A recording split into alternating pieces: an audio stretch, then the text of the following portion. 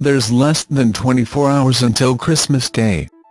And Demi Lovato was shopping in style as she headed to Barney's New York on Sunday.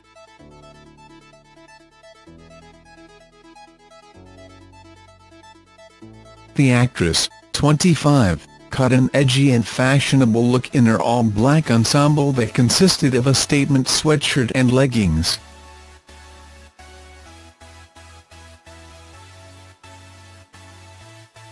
She rounded off the look with a pair of chunky ankle boots and carried a shopping bag and sophisticated tote bag.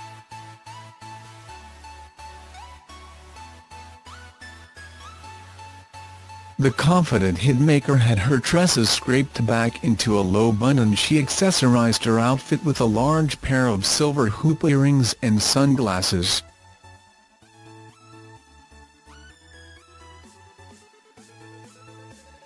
Demi's been busy lately performing as part of the Jingle Ball concert tours, so surely the star is looking forward to some time with her family during the holiday season.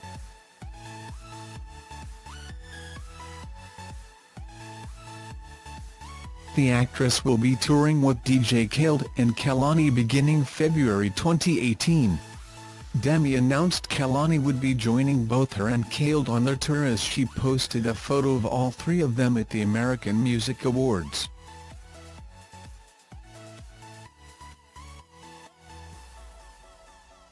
Demi will be performing on New Year's Eve in Miami before kicking off her tour with Khaled and Kehlani on February 26.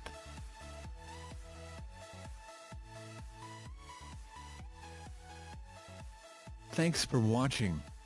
Don't forget to like, comment your opinion, share this video and subscribe to my channel. New videos are uploaded every day.